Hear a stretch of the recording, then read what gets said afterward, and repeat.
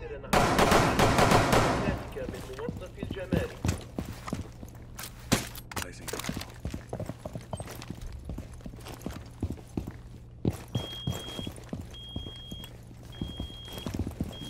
you are in need of medical attention,